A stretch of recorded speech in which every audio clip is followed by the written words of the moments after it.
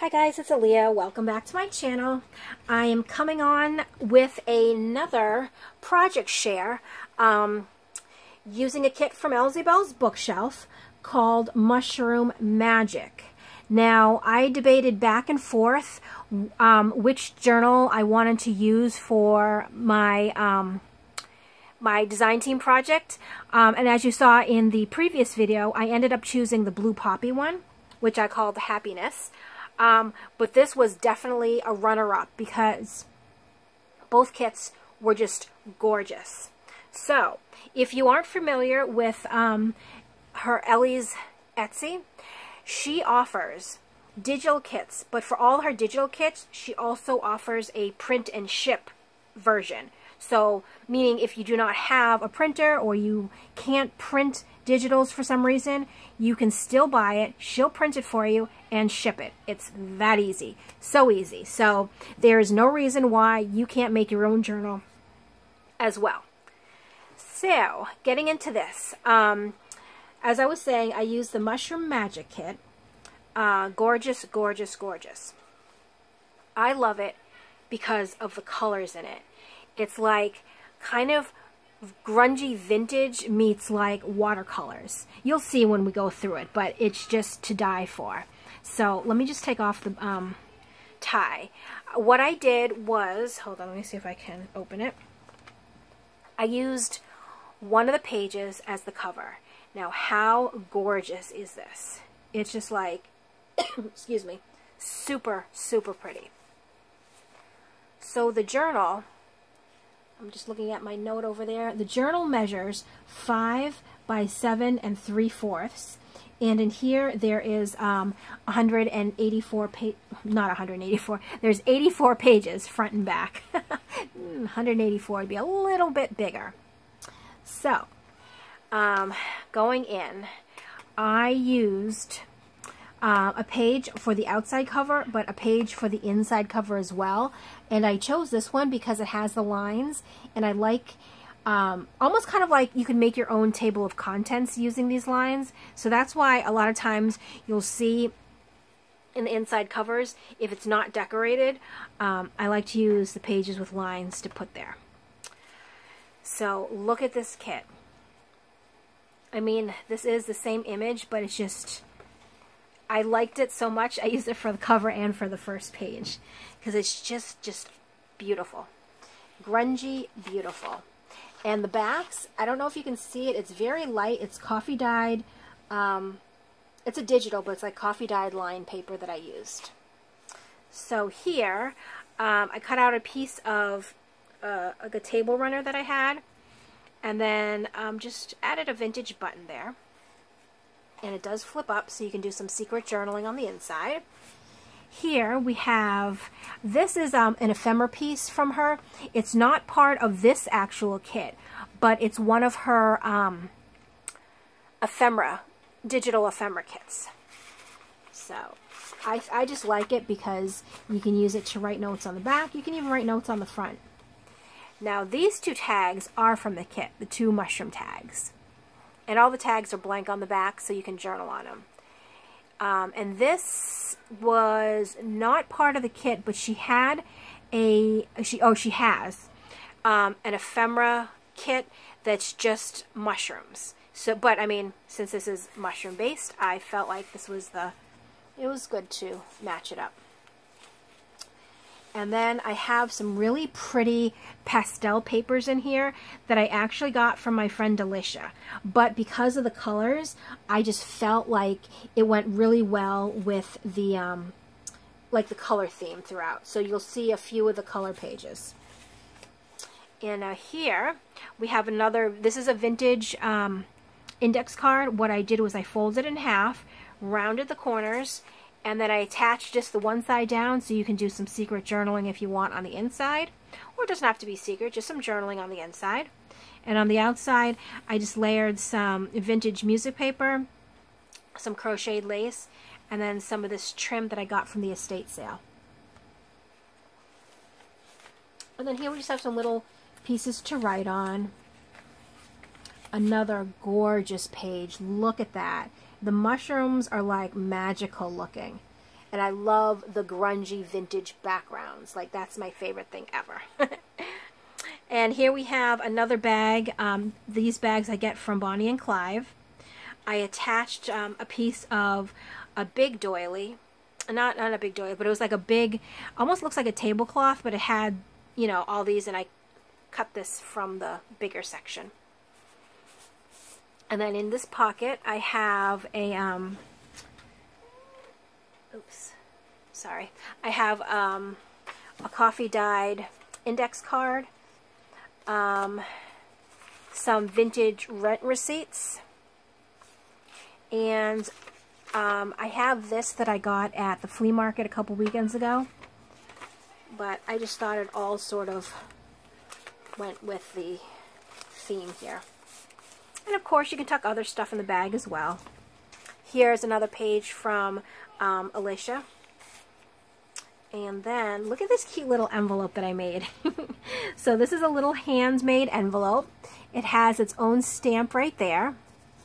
And then I can't remember what I put in this envelope. Let's just see. And I know that all the envelopes in here have the same things on it. So it will have a vintage playing card.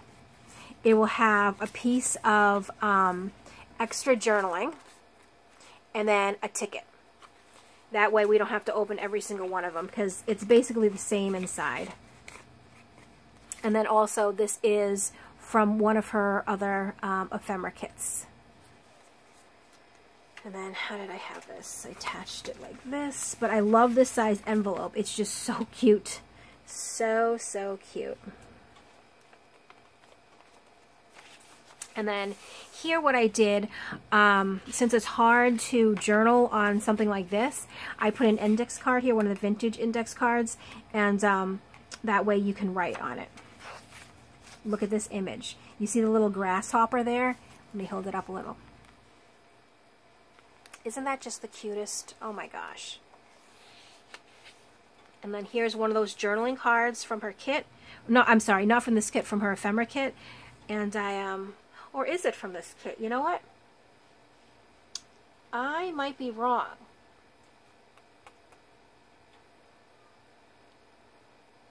I'm sorry, I actually don't remember.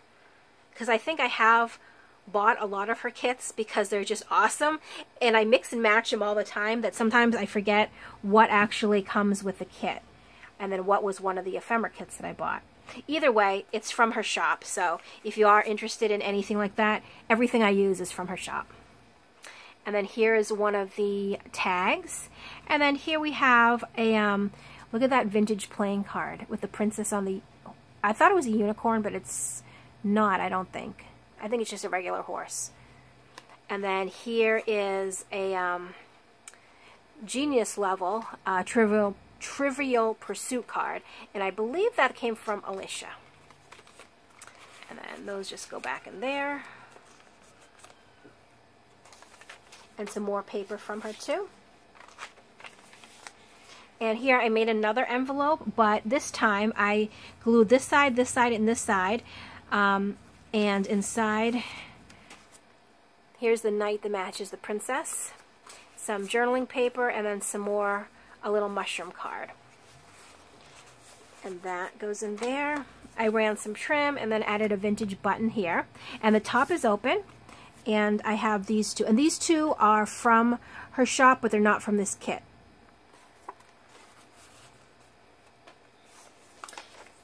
But as I said, I have a lot of her, I probably like 90% of her um, ephemera kits, and I, I like to mix and match her stuff. So here I just made a pocket. I have some vintage music paper under it, and then I also ran some trim across there. And this is one of her, um, uh, like, um, vintage ephemera pieces this I just put back there, a tag, and then these two.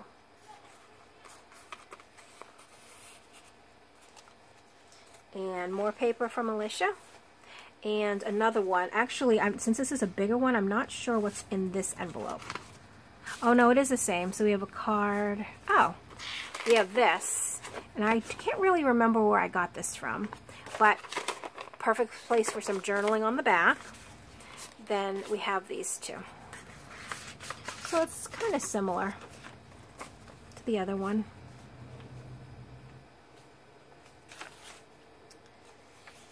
And then some more, another beautiful image from the kit. Here's the middle. And I use this as the middle because I thought sometimes either I like the pic I like a picture that I didn't want to split up. I wanted to open and you can see it. Or I do a blank middle. Well, I mean, it's not blank, but it doesn't have um, an actual image on it. It's just the lined coffee dyed paper in the back. So that way you can journal as much as you want in the middle. Oh, look at that. Isn't that beautiful? So pretty. So pretty. Here's another pocket, and again, um, this is just, that's just a card, uh, a tag. This, though, is from the kit, and then this is one of Ellie's um, ephemera pieces. And then here's like a background page, but it has lines on it, so it's perfect for journaling. Another one of the little pockets here, or envelopes, and same kind of cards in the back another page from Alicia. And here are two cards in there. Another place for journaling here. See, it's nice because you can journal on it, but you can still enjoy the vintage look of the, um, the music paper, which I really like. And then here we have another bag, and the same things actually on the inside the green card, the rent receipts, and then the little butterfly paper. And then I just, I had this little scrap. No, I didn't have it. I think um, in one of my Happy Mails from Alicia, she sent me some strips of um, like material to so I can make little ruffles. So I made a little ruffle and I attached it there. Another beautiful page from the kit. And here again is one of those little books, uh, not books, but like a little card you can write in. Another handmade envelope. A little flip up there. And then some also, I mean, these are kind of like the same various... This is different though. This is a Norman Rockwell. It is a Christmas version, but I added it in here because why not? and then the last image on the back and then this is the back cover. Again plenty of room to journal if you do choose to. So this one here I think I called this one mushrooms for obvious reasons but it is available in my Etsy if you are interested.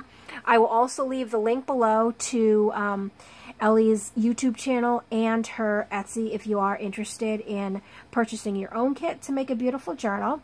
Um, and as always, if you have any questions or comments, please leave them below, and I will catch you in the next video. Thanks for watching. Bye.